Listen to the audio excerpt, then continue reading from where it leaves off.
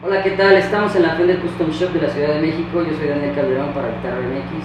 Y aquí tengo la Fender Telecaster Rosewood Classic. Vamos a ver cómo suena.